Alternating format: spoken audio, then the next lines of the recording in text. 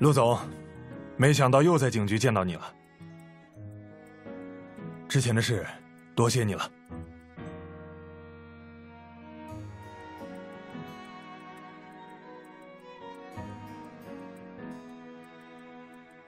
前段时间啊，我们队里一个刑警因公牺牲了，他的孩子得了重病，治疗需要不少钱。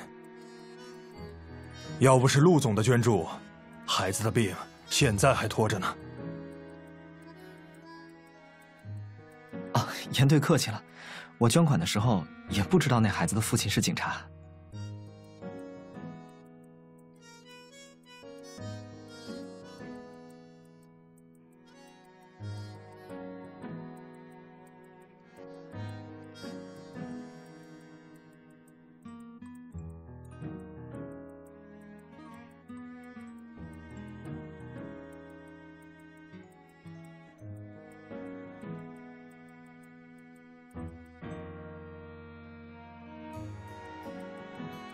姐姐，你夸我一句就这么难吗？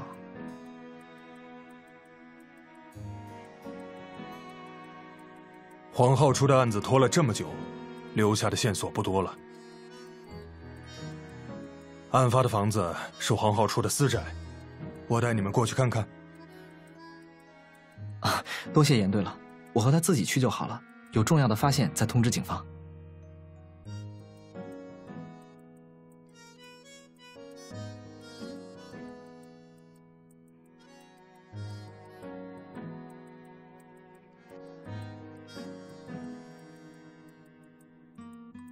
也行，地址和开门密码案卷里有。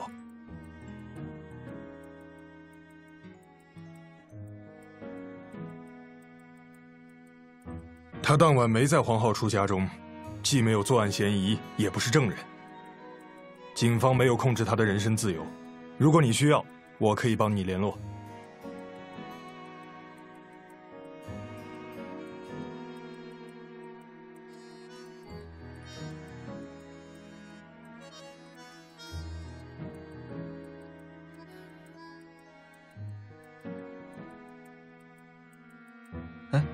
从一上车你就没说话，在想什么呢？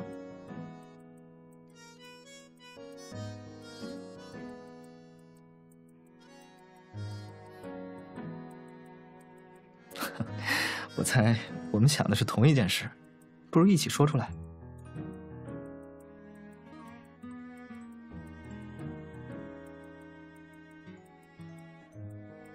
袁婷有嫌疑。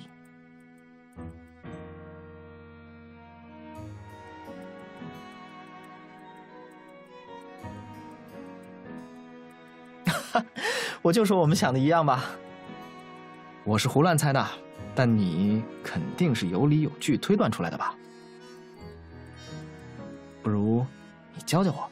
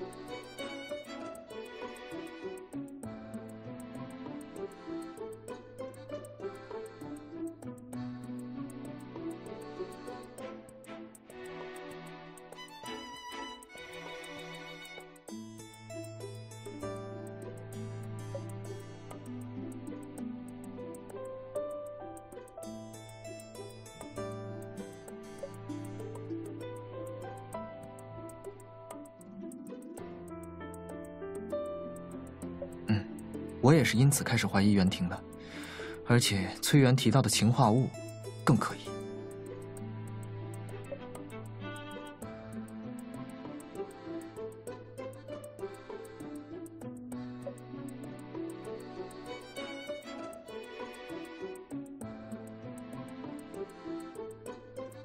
袁婷负责照顾黄老师的饮食起居，他如果想把毒药放回抽屉里，是轻而易举的。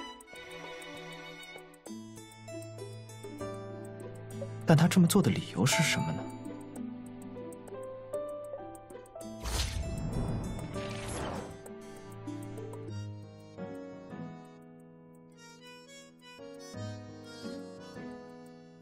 我也想不到，他会是伦斯特调包拍品的受害者吗？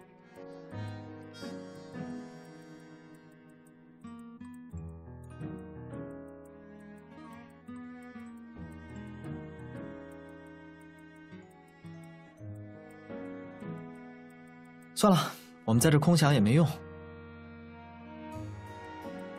严队不是去帮忙联系袁婷了吗？等见面，仔细问问他吧。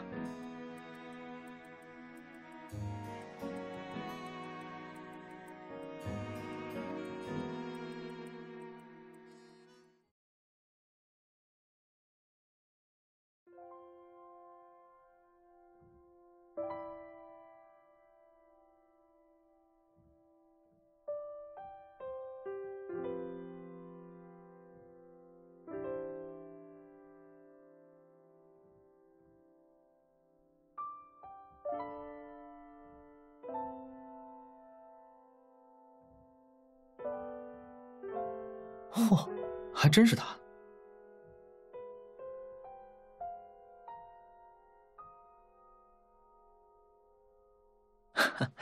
真是得来全不费工夫。哎，等下你配合我，我们不要暴露身份。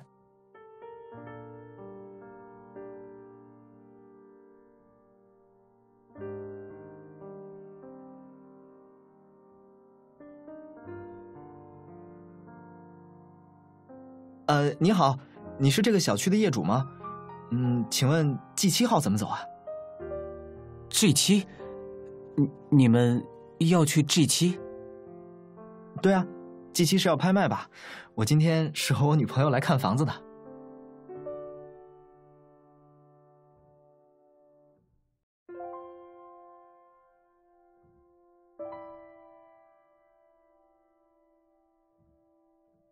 G 七离这里不远，但那是个出过凶案的房子，你们还是不要买了吧。啊，我们也知道出过凶案，要不怎么会在司法拍卖网上看到呢？价格还那么便宜。唉，可谁让我穷呢？我准岳父说了，没有别墅就不让我和他结婚。我也是没办法呀。